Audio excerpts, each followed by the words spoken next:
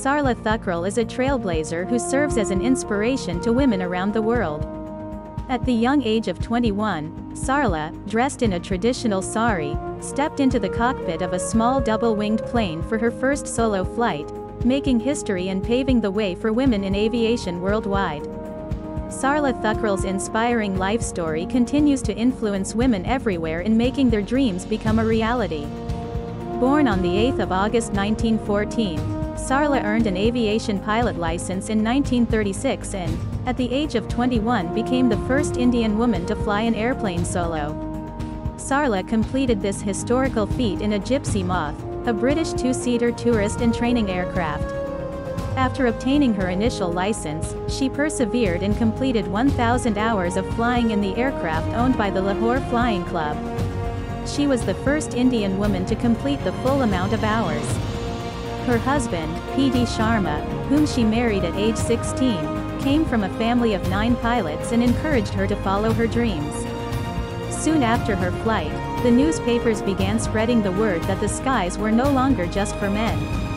Sarla's husband, Sharma was the first Indian to get his airmail pilot's license, spending most of his time between Karachi and Lahore. However, tragically, Sharma died in an airplane crash in 1939. After some time had passed, Sarla wanted to apply to train for her commercial pilot license, but unfortunately, World War II had begun, and civil training was suspended. With a child to raise and needing to earn her livelihood, Sarla was forced to abandon her plans to become a commercial pilot.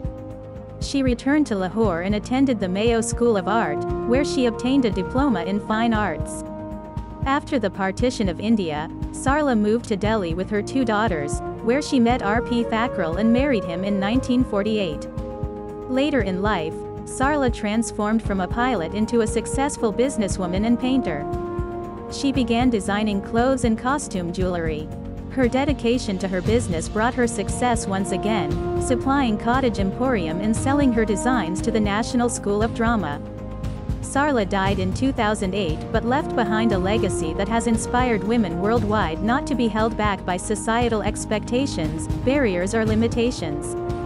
She will always be remembered as a strong role model who embodied courage and perseverance, regardless of any hardships she faced along the way.